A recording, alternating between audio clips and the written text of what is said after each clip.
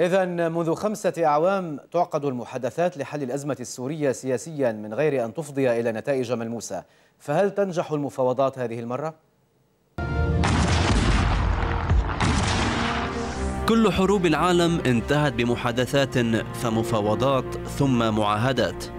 وغالبا ما أثرت المفاوضات في مجتمعات ودول وأحيانا رسمت حدودها. من أبرز المعاهدات في العالم معاهدة باريس عام 1783 التي أدت إلى قيام الولايات المتحدة الأمريكية. ومن بين تلك المعاهدات أيضا معاهدة فرساي في نهاية الحرب العالمية الأولى التي وقعت بعد ستة أشهر من التفاوض. في جنيف وللمرة الرابعة ينهمك المبعوث الأممي ستيفان دي مستورا منذ ستة أيام في توفير أرضية صالحة للتفاوض بين أطراف الصراع السوري مع أنه هو نفسه لم يتوقع اختراقا في هذه الجولة. وقلنا له كيف يمكن الحديث مع أي أحد حول موضوع ما دون أن يكون مدينا للإرهاب. حتى هذه اللحظة لم نجد شريكا حقيقيا باحثا عن السلام. قد لا يشك أحد في توقع ديمستورا عدم تحقيق خرق فكلتا جهتي التفاوض تقف على طرفي نقيض إلا أن ذلك ممكن وهنا يكمن سر التفاوض. هلأ ممكن ياخذوا مواقف على جدول أعمال كمان بس في المضمون ما بتكون هيك.